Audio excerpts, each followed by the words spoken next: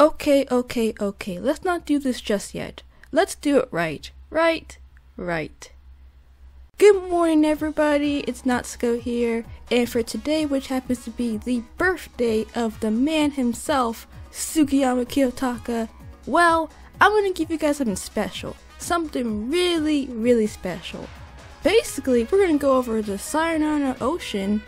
Oh, um, hold on. Basically, we're, we're gonna go over. We're gonna go over Sayonara, Sayonara no Ocean. Darn it. Basically, we're gonna go over the debut single of the man himself from over the years. Something like that. So buckle up, join me as we're gonna go from 1986 to 2017 as well according to my information gathering that's pretty much about all the oceans I could find and just go over them, you know? Like we're not gonna really rank them, we're gonna just more of to talk about them in the best way possible because we're just gonna celebrate basically. We're gonna celebrate Sayonara Ocean from over the years. So something like that, and just talk about each one for like how who knows how long. So yeah. Anyways, join me as we celebrate and just have a blast. Something like that. And also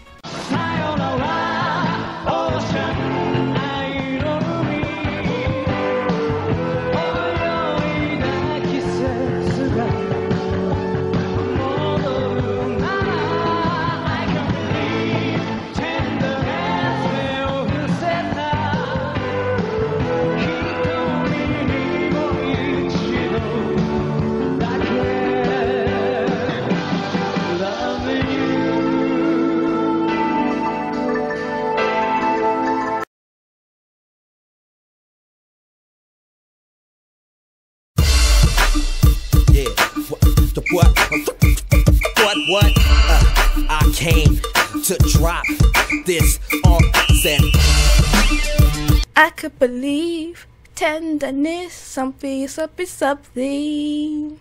Yeah, um, yeah. Anyways, Sayonara Ocean, aka the debut single of Kiyotaka Sugiyama. Yes, this man. Released 1986 as the debut single, like I just said already. Well, what else can be said? This thing is iconic, it is awesome, it is fantastic to a T. It has one of the greatest B-sides ever, um, Shadow. And what else can be said? Like, this single is awesome. Of course, it will have an album version and beyond, which of course is awesome. It has a bit of something different in it, something like that. Like, basically, what I'm saying is that if you listen closely and beyond, there is a cool intro for the album version of this single. So there is that. There also is Ocean, which of course is a shorter, slightly different version of this single. So that's also cool. Also, Ocean would actually no, sorry, no, Ocean, excuse me, would of course debut or really be featured rather, excuse me, on the Joe and Coffee CMs from 1986, really 85, 86, and of course with Star Sugiyama himself. And as you know already, those CMs are my favorite, so yes. But anyways, Sayonara no Ocean is fantastic in every single way. And what else can be said? I mean, this single would kick off not only Kiyotaka's solo career in a nutshell, but also would give us, well, the chance to see Kiyotaka really show that he's a solo man and also he can cook. He can cook like a really, really good chef. I guess you could say he's a master chef. Something like that.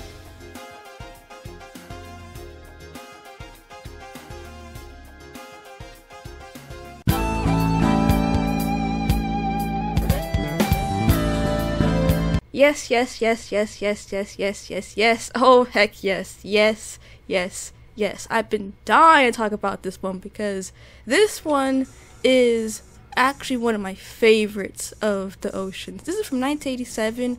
and It would be pretty much the opener for this live album, really live video basically, and it is so much fun. I love how hype and how exciting it is. Like, it is so fast paced and just Mmm, I love me some live Sugi goodness. Like Kiyotaka, as usual in live, is like, look, he's giving us a good time, and this song definitely is the definition of look, hype, hype, and so much hype. Now, yes, technically, of versions of Ocean, or really, yeah, Ocean basically, are the same thing ish as the studio, but the difference though is that, well, yes, the studio is cool and, well, has something the point is the live versions have a bit more flair compared to the studio, is what I'm saying. So they're still different in some ways, okay? Okay. Anyways, this one here is fantastic. I am in love. I am in love. I love how fast paced this is. It is just so good. And Kiyotaka just being as kick ass as he is is just. the man's a goat. He's a goat not only in studio, but God in life too. And also, um, next up is gonna be even better. Oh, yeah.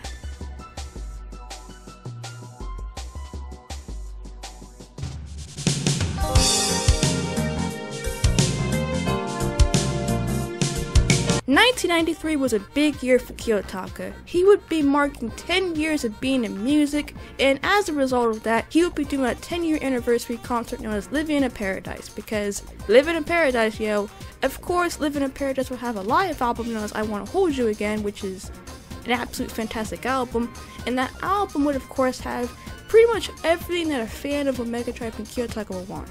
Omega Tribe goodness plus Kiyotaka goodness from like well beyond, here and there, Kona weather, living in paradise, a single, and of course, um, that's really about it. So, yeah. Um, it has some deep cuts too, like Okinawa May, Miss Dreamer, Sunset Love Song, of course, sh- no, not Shade, Shade, not really deep cut, and just so on. So, either way, this live album, which isn't Warm Front Lawn Site, has so much to offer as a Kiyotaka fans want, or even as a Megatribes fan, or Megatribes fans want. Something like that. Anyways, this album also has Sayonara no Ocean, which of course is, well, very different in this album. Kinda, the sound, the arrangement is different, rather, the arrangement basically, but it is so cool. I love the way this one sounds. I just like the more rock, more guitar heaviness of it rather, and just it's just so much fun. Again, Kiyotaka is just having a blast with this song, and I cannot stress how much I love when he's like just having the time of his life on stage. Like this band is just really having a fun time. Okay, okay, and I love that. Okay, I love that. In this version, like the previous one, really reflects that Kiyotaka is great live and just my god, just. And we're not even at the end yet, because here's the thing, and here's a spoiler. Every version of Sayonara no Ocean is really good, and it just keeps getting better and better and better. So I'm not even done with the perfections or anything like that. I'm not even done yet, because I'm not. So, anyways, this version here from 1993 is amazing, and just another example of just live goodness, be still my heart. Anyways.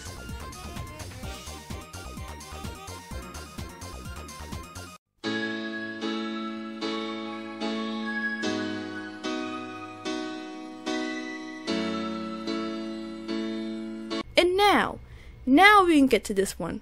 We could finally get to this one properly because hell yes. Sayonara Ocean, Ocean 95. From Rhythm from the Ocean, the final track off the album, and just.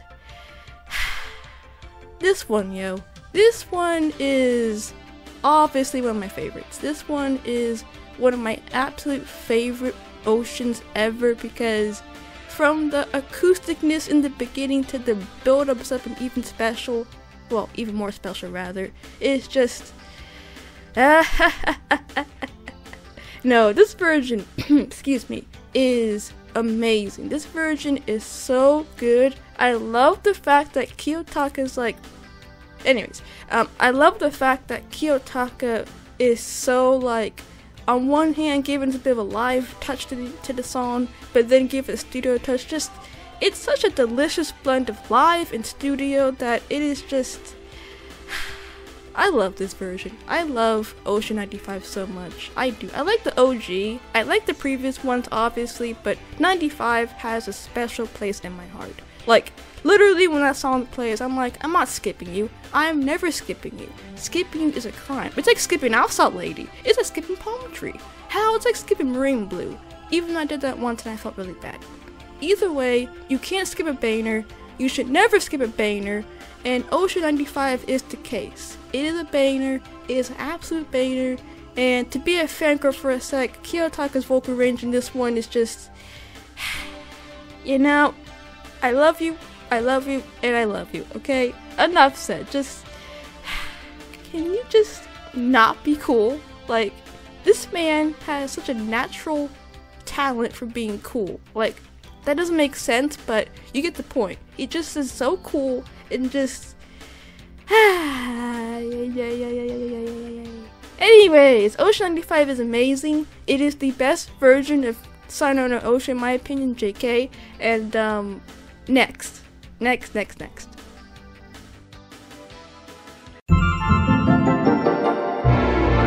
This one's a fun one. This one is a really fun one. From 2003, the acoustic version of Sayonara Ocean, featuring Hula Moon Sessions really as a little celebration album, basically. Let me rephrase. Hula Moon Sessions basically is the anniversary album of Kiyotaka released in 03 to celebrate 20 years of being in music. So as a result, you have like really mostly cover versions of stuff he's done over the years, like Omega Tribe stuff to more of his solo stuff, and also more deep cuts like Inspiration and Suki Ekiro. I think I'm saying that one right. From Harvest Story, because Harvest Story is underrated, okay? Okay. Anyways, Sayonara no Ocean would, of course, be featured in Moon Sessions.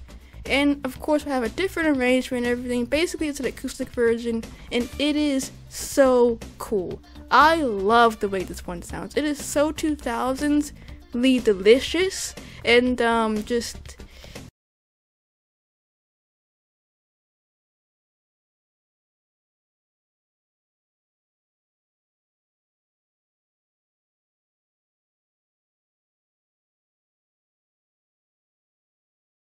that's why like when I heard the acoustic version of you know Ocean basically to get back to that song, I was like, okay, I'm getting goosebumps. I'm getting like nostalgia because it sounds so delicious, like 2000s. I love it, and it sounds kind of it, it has a JoJo vibe to it as well.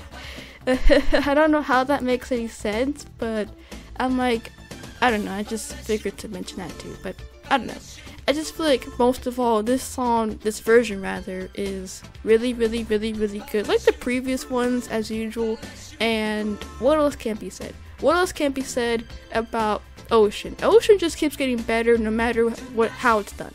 So, yeah, yeah, something like that. Also, there is the Tokyo Night version of this one, which I did I did want to include because it is kind of different from the acoustic version. Not really, it just has a different opening but everything else is kind of the same. It's just kind of faster, and Kiyotaka has sort of more of a guitar theme rolling, which of course he should have that rolling because he plays guitar. I mean, he does something like that. Either way, Tokyo Night or Tokyo Session or something. Uh, yeah, this album basically is sort of different. It has sort of a different version, rather, of this version of Sayonara Ocean. Jesus. Um, and um, just uh, yeah. Yep, yep. But anyways, next one. Nexty, next, the next one, because we got two more left actually. Oh, oh, oh my gosh, sorry. We have three more left. Whoopsie daisy. Anyways, next.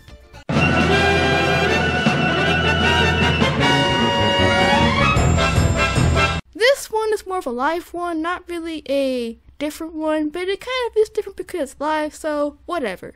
2006 would be special for Kiyotaka because 2006 or 06 rather because I'm not saying that full one ever is really when Kiyotaka would mark 20 years of being in music. Yeah, 20 years. And of course, 20 years means that he can celebrate with a concert, which of course would be this fun little concert from 06. And it will have Ocean again, and this one is mostly fun. It's just like, okay, how about we have a fun version of the song and let's all celebrate because Kiyotaka's been doing music for 20 years, guys. Yay! And this version, of course, is not really too big or anything. It's just fun. It's fun. It's exciting. Kiyotaka, as usual, has his vocals and everything. Just fun stuff, fun stuff, fun stuff. Just what else can be said? It's just a fun little version of this song, and just that's it. That's it. That's all I'm gonna say. Now, next one.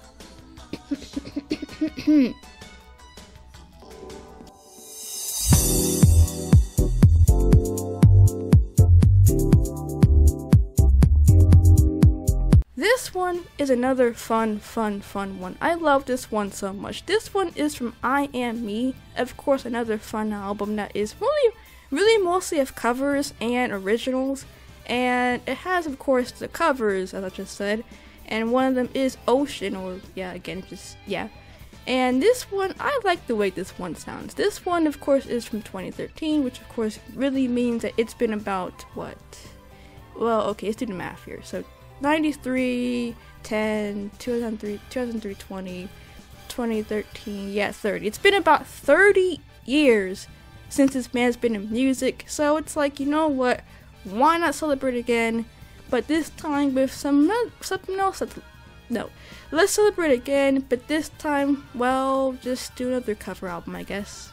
Yeah, no, nothing really new. But of course, who cares? Because it's still fun nonetheless, and this version of Ocean to get back to that one is awesome. I like the sort of I like the ocean vibes it has, or the uh, sea vibes it has rather, because it's just the way it sounds is so much fun. It's like sort of a dance number almost. I don't know, but it's just so much fun, and you have to listen to it to really get what I mean because it's kind of hard to explain the way it sounds because it's like um, okay, but I think if you listen to this song closely, just go to I Am Me. It's on Spotify. Most of Kyo's stuff is on Spotify, so you can check out I Am Me, I believe.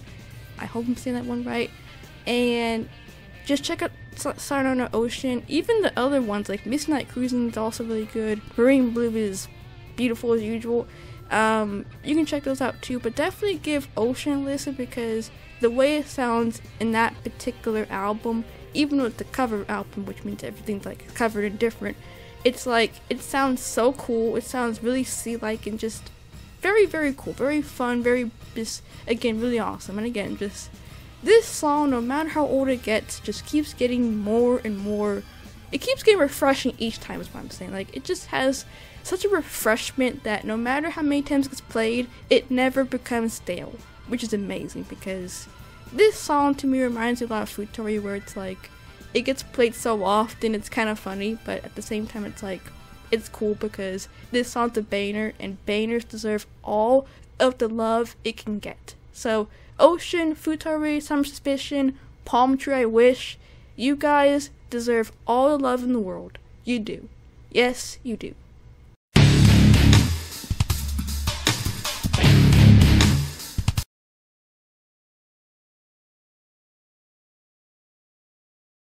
And now we have come to the grand finale. The grand finale of all grand finales for 2017. That is Live Best. Something like that. Live Best, of course, is the another live album from Kiyotaka Cheese. And this album here is really, really, really awesome. This album, while yes, it is new Sugi, who cares? New Sugi is still fire as usual. Everything that's pumped out of this album is amazing. Living in Paradise, yes. Palm Tree, yes. Riverside Hotel, yes. Outside Lady, Kenta Action, yes. And just um um everything about this album is amazing. Can somebody please tell me why it doesn't get enough attention? Because this album is amazing. Anyways, Ocean makes an appearance in this album and it is so much fun. Also, Kiyotaka belting. Oh my god, belting. Belting. Belting. Just what? Look, when the man belts, you know you're in for a ride. And also, you're also going to be amazed too because the thing about Kiyotaka that's amazing is that even though the man has smoked, he has drank, he has done things to his vocals that make you go, huh, really? But yet, yet despite the choices made in his life, Despite the choices, his vocal range is still amazing to a T, and it is still one of the greatest vocal ranges out there. Like, you can fight me if you want to, but I would dare say it. Kiyotaka has one of the greatest vocals, perhaps of all time. Perhaps of all time ever, and yes, I'm being a bit exaggerating, I don't care. I'm just saying this man's vocal range is incredible to a T, and it is without question one of the best vocals I have ever heard in my entire life. Yes, yes, and yes. Anyways, Ocean. Yes, the fact that Kiyotaka belts in this song is amazing. Towards the very end, after the whole song's over with the whole guitar and everything like, as it goes in the studio version back in 86, he pretty much gives all of us, the audience, something that you always should have to keep your ears out for, and that is belting.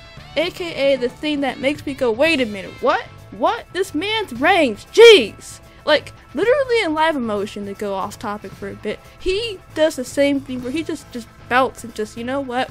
Guys, we're in for a ride. Like, for example, Outside Lady. Outside Lady when he does the Make Me High, he's like, just, just going at it. Like, okay, just, really? Like, really? Like, what the hell, man? Like, it's just, it's amazing. It's amazing. It's astonishing. It is goosebump inducing. It is just, just, wow. But like I said, it's just amazing that this man has range despite what he's done, and just, you know, just so much admiration, man. So much admiration for a man who is officially a senior citizen.